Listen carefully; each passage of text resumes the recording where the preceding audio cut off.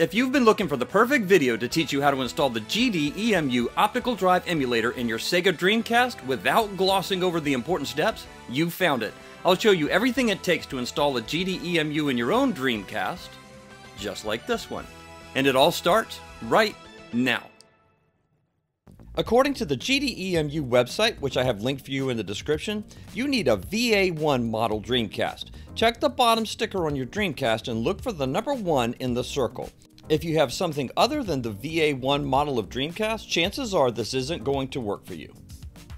These GD-EMU clones are readily available on eBay, and boy are they ever getting cheap. Look at this, these things are getting down in the 40 to $45 range on eBay. This is incredible. It seems like just about a year or maybe two ago, these things ran for about $100. This is crazy. And check this out, the 3D printed kits that I'm going to feature in the video are running about $17 now. Not long ago, these ran around $30 US. It's just crazy how cheap this stuff is getting. Here's the SD card I feature in the video and use with my own Dreamcast. It's been fast and reliable. I've got links to the GD-EMU, the 3D printed tray, and the SD card for you in the description below. You'll need a number 2 Phillips screwdriver and potentially a number 1 Phillips screwdriver to get this done, depending on whether or not you purchase the tray. Make sure you have a soft surface to turn the Dreamcast over and turn it over to expose the bottom. Only three are visible at this point, but there are four K screws to separate the top shell from the bottom shell. One's in this corner, one over here in this corner, and one over here in this corner. The fourth screw is actually hidden under the modem. To remove the modem, all you have to do is just press in and then pull out. And then underneath there is the fourth K screw. You can remove all four of these screws with the number 2 Phillips screwdriver. Then hold the two pieces together and flip the Dreamcast back over. Then you can remove the top shell. Once you have the two pieces separated, you can just take that top lid and set it off to the side. We'll address it in just a moment. To remove the GD-ROM drive, there are actually three screws holding the ROM drive and its frame together to the case. One is located here, a second one located right here, and all of these can be removed with the number 2 screwdriver. And the third screw is located right here. Take these three screws and set them off to the side as we'll be reusing two of them later. Then you can lift and remove the GD-ROM drive from the shell. Make sure you lift from the base of the GD-ROM rather than the top as they are two separate pieces. If you're using the 3D printed tray kit, which I highly recommend, here's what you'll typically get with them. There's a black frame piece for mounting the GD-EMU into the case, some mounting feet which typically come with the GD-EMU that you won't need, an SD card extender and ribbon to be able to access the SD card from the top side of the Dreamcast, one super long screw and some various small screws, the orange tray at the top and the long push button in the middle that goes into the top of that tray lets you access the SD card directly from the top of the Dreamcast just by opening the lid. And the GD-EMU is seen in the bottom corner. I found the easiest way to attach the GD-EMU board to the bracket that goes into the case is just take the bracket and set it down, then set the GD-EMU board right on top of it. But don't do this over the Dreamcast because if the screwdriver slips, well, you might stab the screwdriver into something that you don't want it to go into. 3D printed plastics are great, but they're also soft and they may have variances in tolerances, meaning the screw holes may or may not be a completely perfect fit for the screws you intend to put in there or not. In this case, I'm using that one single long screw to go ahead and secure the GD-EMU board to the bracket. And that screws long enough to go through the GD-EMU board, the bracket, and ultimately into the Dreamcast frame. My wife Angie, who's also a gamer, took an interest in this project too, so she sat along with me while we worked on the project together. And while I was securing the GD-EMU drive down to the bracket, this happened.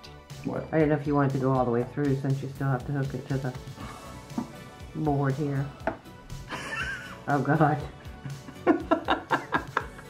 Yep, I screwed the GD-EMU and the bracket completely through and down into our dining room table.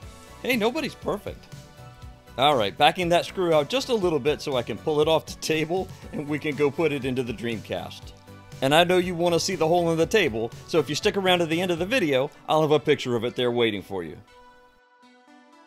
The motherboard interface for the GD-ROM and now the GD-EMU board is right here. You'll need to line up the plug that's on the bottom of the GD-EMU board with the port that's on the motherboard.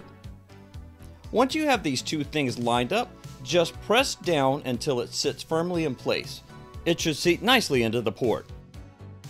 Now use two of the original three screws that you removed from the GD-ROM to tighten the GD-EMU board the rest of the way down to the bracket.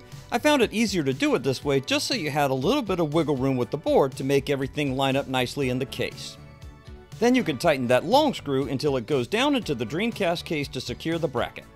With the GD-EMU board mounted to the bracket and the bracket mounted to the Dreamcast, let's focus attention on the lid. Start with your 3D printed piece that's meant to fit in the lid. This is your tray that you're going to put the SD card extender into. It's got three holes on it, and it orients in this direction, and it actually matches kind of in the same triangle pattern as the lid does and should fit snugly in place. The small screws that came with your 3D printed kit are meant to install this tray into the lid. These really shouldn't require any pre-tapping, as they're meant to go through the tray and go directly into the stud posts that are on the underside of the lid. Now you can insert the SD card extender into the tray. This is the top piece and this is the bottom. The top side has the curve on it so that you can get your finger in there in order to insert and remove the SD card. Slide it all the way in until it seats firmly in place and the two wings on the side with the screw mounting holes are lined up with the holes on the tray. Make sure you set the ribbon cable off to the side carefully so as to not damage it. Use two of the small screws provided with the kit to secure the SD card reader to the underside of the tray. With the top tray assembly complete, take the other end of the extender that looks kind of like an SD card, make sure the pins are facing toward the GDEMU board and just insert that extender piece into the SD card slot on the GDEMU board. Once you have it seated under the board, take that ribbon cable and just kind of fold it up and make sure that it's not impinged anywhere as it goes back into the case, and then secure the top lid to the bottom case on the Dreamcast. Once you have the top lid back in place, hold the two pieces together, the top and the bottom, and flip the Dreamcast back over. Then put the four K screws back in place using a number 2 screwdriver. And with the 4K screws secured back in place, take the modem and slide it back into the case.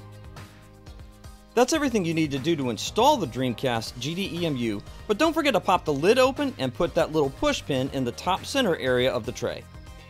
Hey, if you're getting value from this video, make sure you subscribe while you're here. You'll get valuable information on leveling up your video game hardware and software, and we have an incredible group of gamers here. You belong here with us. Smash the subscribe button and ring the bell to become a part of something special.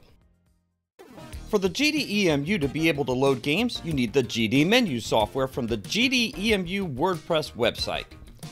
Scroll down on the page until you see the text listing for GD Menu and the link underneath it.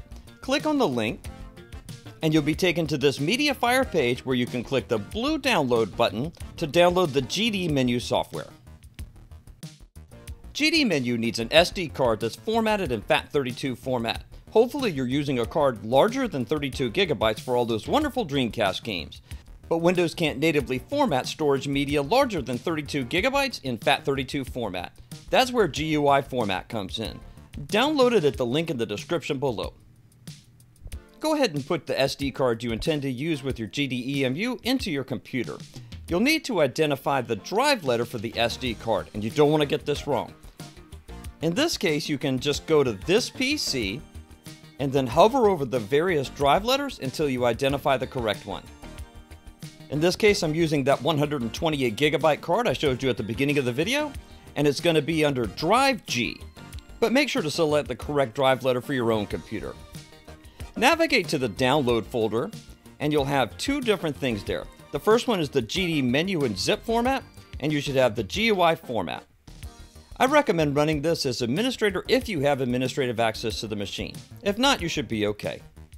Right click for Run as Administrator, and when prompted, select Yes. The first thing you really, really want to do is make sure that you have the correct drive letter selected in the top left corner. In this case, I do, it's Drive G. See, you can format your Windows hard drive, your Drive C, using this software.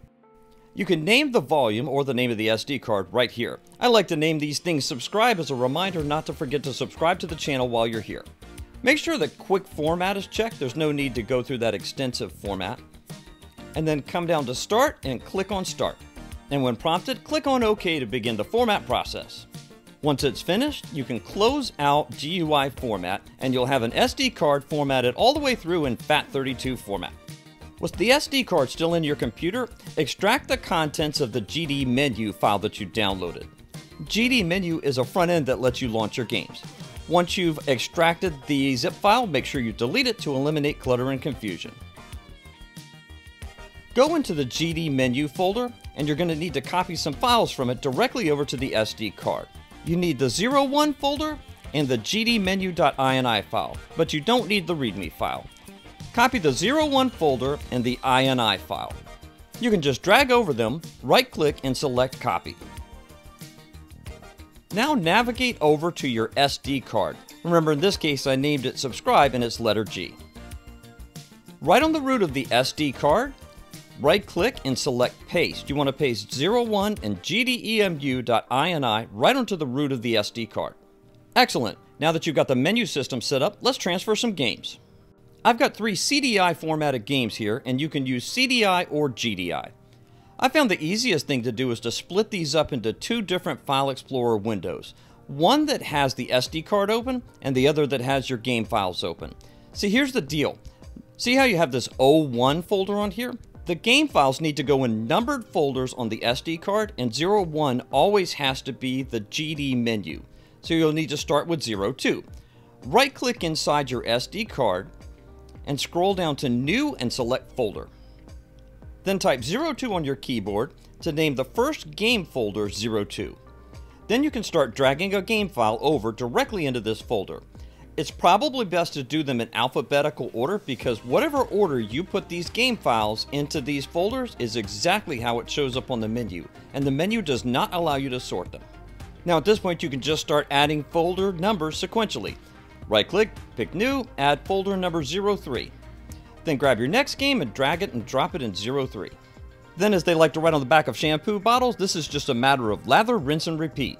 Right click, new, folder, 04, and then grab the next game file and drop it into folder 04. You can repeat this process for as many games as your SD card will hold. And once you're done, you can close out File Explorer because you're done copying software. You can remove the SD card from your computer, put it into your Dreamcast, and power on your Dreamcast. This is the GD menu main interface. In the top left corner, you'll see the numbers of the folders on your SD card, along with the game content in each one. See, this is why I recommended putting them in alphabetical order. There's actually no way to sort them, and we'll take a look at that in just a minute. But at least this way, you can find your content quickly and easily. In the right side, you'll see some basic information about the GDEMU in the menu, and at the bottom you'll see some navigation icons telling you which button on the controller does what. Let's take a look at the menu. Press the X button on the controller to go into the menu. You'll have several choices here, Options, SysInfo, and About. Use the D-pad to navigate to Options and press A.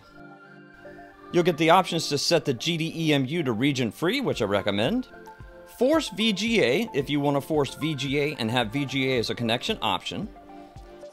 In-game reset, turn on if you want to be able to use the button combination on your controller to reset your game with the controller. Boot intro if you want to get rid of the boot intro with the Dreamcast logo. And Sega license if you want to get rid of that. Although I don't recommend it because it has been reported there are some compatibility issues with certain games turning them off. Then scroll down to Save Settings and select it with the A button.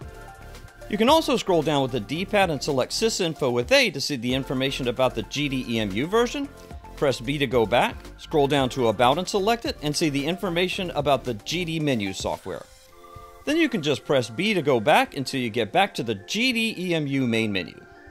Before we complete the last step of the setup, I just want to say thanks to Jimbo over at Palmetto Gaming in Summerville, South Carolina. They're a huge supporter of the channel, and I was so excited to be able to get this Dreamcast keyboard to give to my wife to use with her favorite Dreamcast game, Typing of the Dead, that I took a picture of it as soon as I got out of the store and into the car with it. They're located at 225 South Cedar Street in Summerville, South Carolina, and you can visit their website at palmettogaming.com. And here's that hole in the table I promised to show you. I don't think the missus has even seen it. Well, she has now. But don't worry, it's all in the interest of teaching you how to do something fun, so it's worth it. The last step in the process is to launch a game and see what happens. Use the D-pad to navigate to the game you want. In most cases, you'll get disc art shown on screen. Let's go ahead and launch Typing of the Dead. Select the game you want to launch with the A button, and the Dreamcast will restart and load in the game image that you've selected. And if you've left these options selected, you'll get both the boot screen and the license screen. And in no time at all, you'll be ridding the world of zombies one typed letter at a time. Why not upgrade your Dreamcast to HDMI video output? Check out this video here and linked in the pinned comment and description.